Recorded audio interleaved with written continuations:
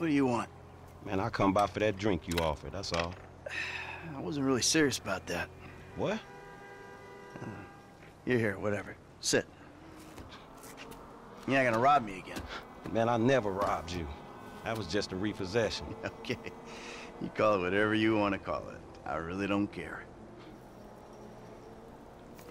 What can I do for you? Shit, I just came by to see if there's something I can help you with. I see you doing well for yourself. Look, I'm retired. Ain't you a bit young for the pipe, slippers, and staring at a fucking sunset? You know, I've been in this game for a lot of years, and I got out alive. That makes me the right age. you look like a good kid. But if you want my advice, you give this shit up. You work hard, screw over everybody that you love. Hurt, rob, kill indiscriminately, and maybe, just maybe if you're lucky, you become a three-bit gangster. It's bullshit. Go to college. Then you're gonna rip people off and get paid for it. It's called capitalism. Hmm.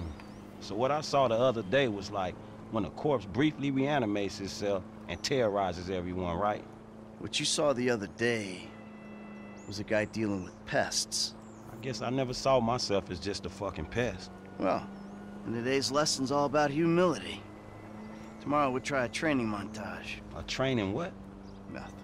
I was just lost in an 80s movie fantasy. Yeah, I can see you spend a lot of time there. Yeah, as much as I can. So that's why you're here in Vinewood then, right? Maybe I'm here because I'm just an idiot who thinks that imported palm trees are a good substitute for not really knowing what the fuck you're doing on this earth. Jesus, man. You a good time, you know that? I tell you what.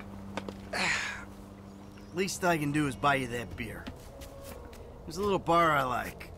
It's not too far from here. Let's go. All right, man. I'm following you.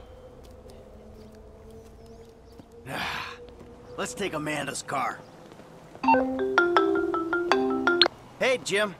I'm going for a drink. with- Dad! Shit! I'm in our boat going down the Western Highway! It's. it's been stolen! What?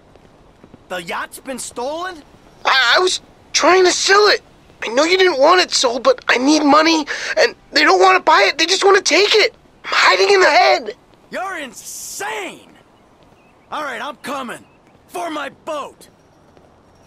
Alrighty then. Change of plans. My darling boy is in trouble. Hey, I'll help you out.